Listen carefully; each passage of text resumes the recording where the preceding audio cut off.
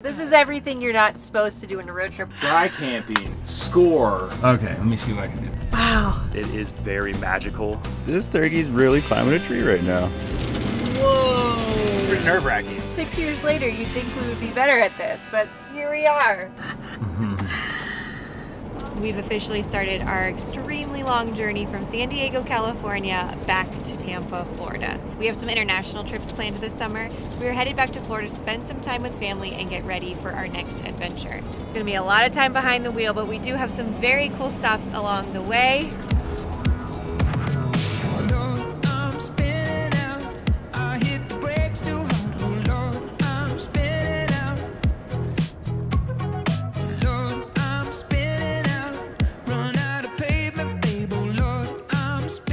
And a half hours down, three more to go. We're stopping at a rest stop for some lunch, bathroom break, stretch our bodies. Well, this rest stop is really rad, and we're surrounded by sand dunes. Today we're gonna be making some quesadillas. We have leftover flour tortillas from Mexico. We made some chicken last night. If you're gonna have long drive days, I always recommend having something quick on hand. Leftovers are fantastic to make sure you don't go hungry. I say this as if we do it every time. We almost never prepare properly, but this time we have. Thanks, babe. It's very good. This is the first of, I don't even want to know how many gas fill-ups we're gonna have to do between California and Florida. I'm curious if anyone can guess how much we're gonna spend in fuel costs between now and when we get home. If you have your guess, leave it in the comments below. But we are saving money with this fill up. We're saving like 80 cents a gallon because we use this app called Upside. And if you want to save money on each fill up that you do, we'll leave a link in the video description so you can start getting cash back on your fill ups too. 175. So expensive though. So annoying.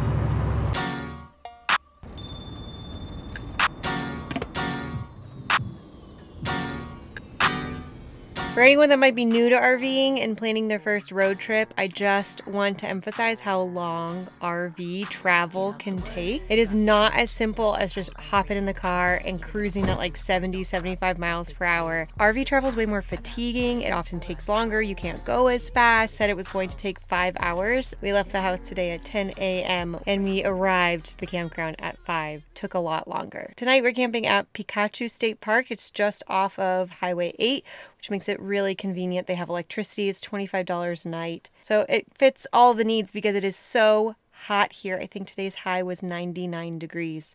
We were hoping to squeeze in some hiking because there are some really great trails at the state park. But I don't know, with that heat, we may just stay one night and continue on our way. We did just text our friends in Baja to see how they were doing. They're headed to Tucson and happenstance, they're about to pass this state park. So instead of going to their destination, they're going to camp here. And I'm so excited to be reunited with them.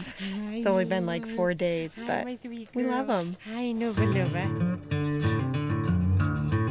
Scoping them views. Gorgeous. The sunset is something else.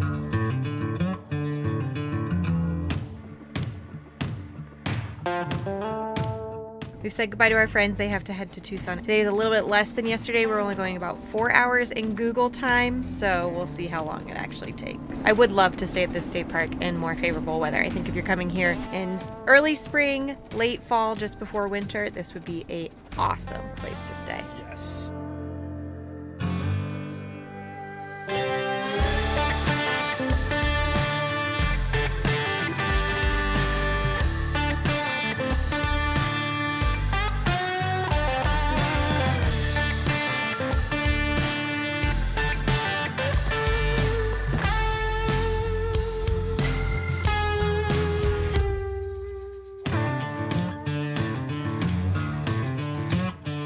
We left at 12. It is now 8.25, although we did go through a time zone change, so it was really 7.25. But this is everything you're not supposed to do in a road trip. We're arriving at dark.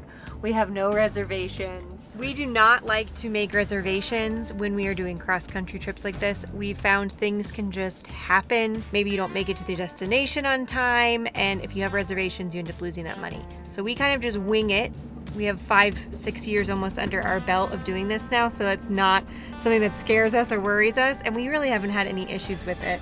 It also allows us to drive around when we get there to see what's available and pick out the spot that we really want.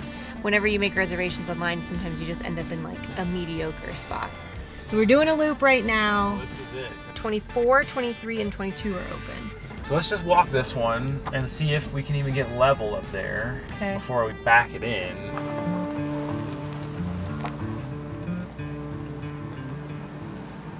I think it's gonna be low on the driver's side. I am right. We're high in the front. High in the front. Okay, let me see what I can do. All right. Perfect. Perfect. Mm-hmm. Now we need to make dinner. Chef Lise at your service. Tonight we will be serving a spaghetti squash with pesto. I don't know what this accent is. I don't like literally don't even know what country that's supposed to be from. Delirious at this point. Homemade pesto. Why did I choose the hardest recipe? I don't know, dude. I'm trying to find ways to make this easier. I'm on it. I'm going to chiffon the basil. Chiffon. Smells good in here. It smells so good in here. I love the smell of fresh basil. I think I'm gonna make it just a nice light sauce. Garlic, butter, a little bit of olive oil. Dinner is served. I think it came out lovely. This is not my best work, but for a makeshift dinner, when you've just driven like seven hours, voila.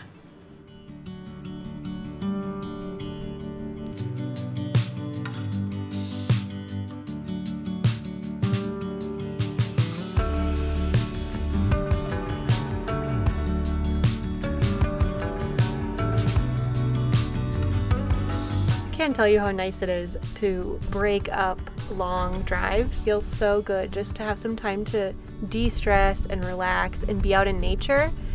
Whenever you're doing super long stretches like this, I highly, highly recommend building in a day or two every like few days just to give yourself some time to decompress. And this state park is the perfect place to do it. We've gone on walks every afternoon right at the sunset. There's a bunch of hiking trails in the area. We're not going to be sharing the exact location with you. This is my aunt's favorite place pretty much in all of the United States. And she has requested that we kind of keep it a little bit of a secret so it doesn't become so popular it's difficult to get into. And we are respecting her wishes. Yes, and if you do know where this place is, be respectful and don't blast it in the comments. Yeah, sometimes it's cool to let hidden gems remain hidden. Horny toad? Is it a horny toad? I'm pretty sure that's what they call a horny toad, yeah. Wow. They blend in so well. Kids have those as pets Mm-hmm. back in Florida. Jono. I like seeing them like this in nature. Yeah, me too. I can see why Beth likes this place so much. It is very magical. And just a short hike away from our campsite is an old midden because we're actually camping in the ancestral homelands of the Chiricahua Apache. So they created kitchens in these rocks that you can still see today where they were grinding whatever they were gathering here off of the land to process into food. But when you get here, please respect it. Don't scratch your name in any rocks. Be here and just realize why the ancestral peoples also love this place just as much as we do today.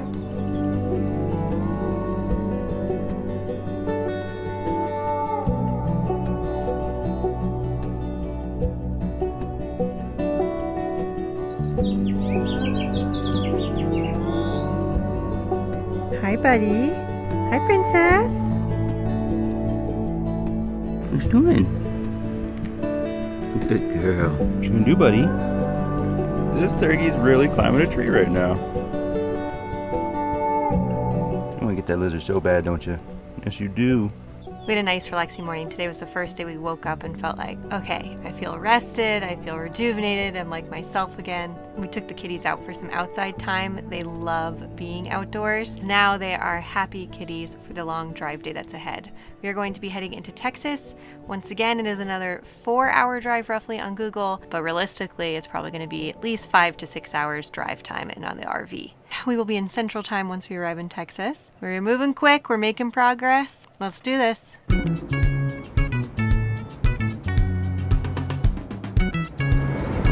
Welcome to Texas!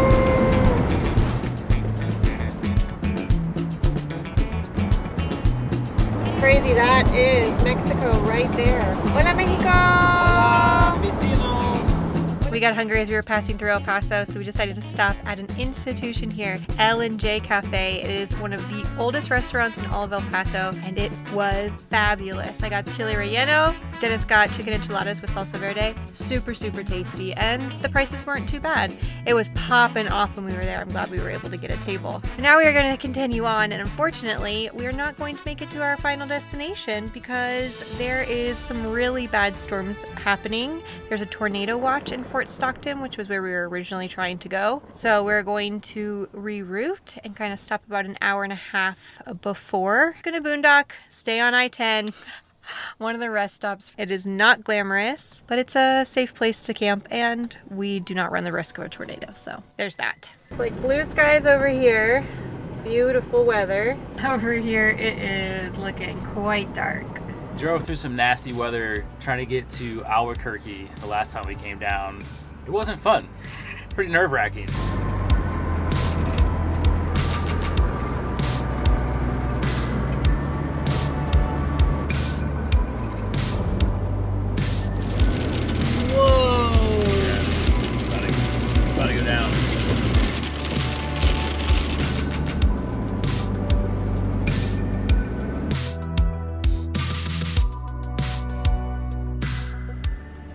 Good morning. We had a pretty restless night last night. The storms were still blowing through, so there was a lot of wind. Our RV was shaking, but also it's a picnic area on the side of I 10. We're right next to the highway. This is where a lot of big trailers come to park over the evening and they just like run their big rigs all night. Dennis woke up at like 6 a.m. and we're just gonna hit the road because there's supposed to be more bad weather today. We want to get through the swell before winds pick up.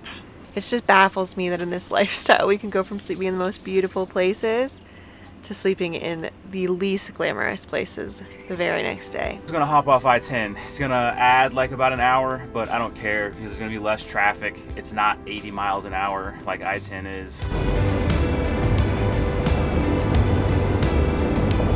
We made a pit stop at Advanced Auto Parts. Dennis is replacing our windshield wipers, topping off fluids. It was a perfect break for me to make some breakfast and some coffee so we continue on this journey.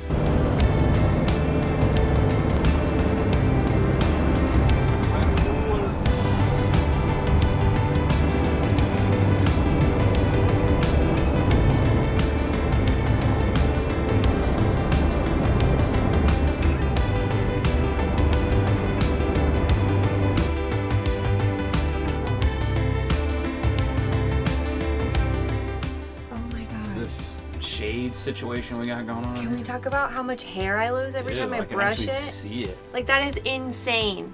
break. We've had some things break on our drive.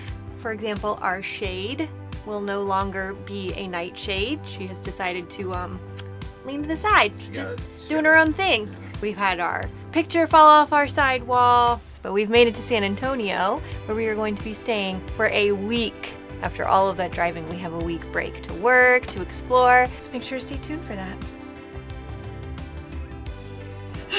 Liz dropped half of the chicken breast on the hairy ass floor. Delicious roller grill items. Mix and match just two for four dollars. Add a Polar Pop starting at. two. there it is. It's that one. Yeah, all right. C O R M A C. Cormac.